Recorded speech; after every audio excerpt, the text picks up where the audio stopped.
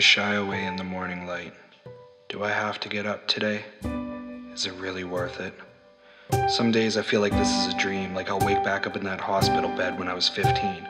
I tried to overdose to know if I'm okay, and to this day I still don't know.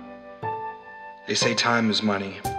I've been burning both, trying to figure out what's wrong, but the candle has no more wick and the hourglass is out of sand. This is not what I planned.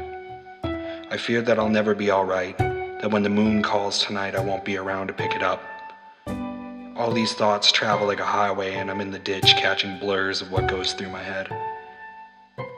Tell me, am I better dead?